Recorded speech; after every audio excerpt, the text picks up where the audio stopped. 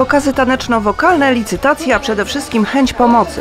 To wszystko spowodowało, że wielu mieszkańców miasta odwiedziło dziś Centrum Handlowe Aura, by wesprzeć po raz 27 Wielką Orkiestrę Świątecznej Pomocy. Mamy bardzo dużo wydarzeń. Jest zespół taneczny, kilka zespołów tanecznych, od ludowych po, e, po jazz. E, jest muzyka poważna. Naprawdę dla każdego konesera coś się znajdzie. Dzisiaj jest taki dzień, kiedy wszyscy pokazują swoją empatię. Tak? Wrzucenie e, symbolicz- symbolicznej złotówki do puszki to świadczy o tym, że e, jesteśmy za tym. Tak? Chcemy pomóc. Nawet ta symboliczna złotówka. W uroczystym rozpoczęciu 27 finału wzięli udział przedstawiciele Olsztyńskiego Sztabu Orkiestry, wolontariusze oraz prezydent miasta Piotr Grzymowicz.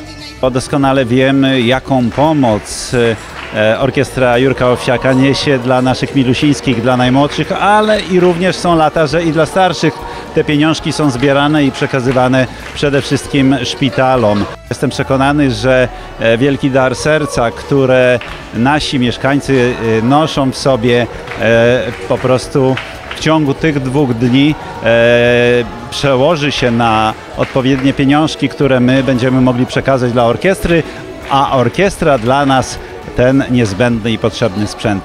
Mieszkańcy Olsztyna udowodnili, że ich serca jak co roku biją dla orkiestry. Po prostu należy to robić.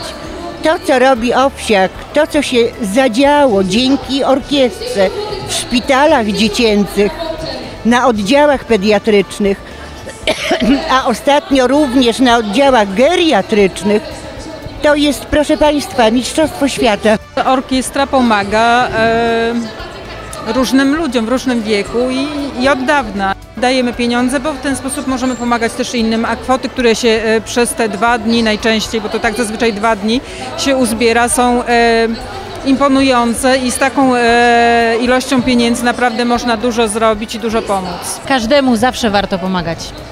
Czy to będzie to Wielka Orkiestra Świątecznej Pomocy, czy będzie to dzieło wigilijne Caritas, czy Szlachetna Paczka, zawsze warto pomagać.